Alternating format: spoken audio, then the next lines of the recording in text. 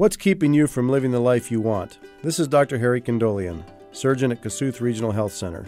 Create the look you want with the help of cosmetic surgery, available in both Algona and Britt. When we look good, we feel good. Change your shape and your internal outlook with liposuction or breast augmentation. Call today for a free consultation 295 4534. It's time to change your look and change your life.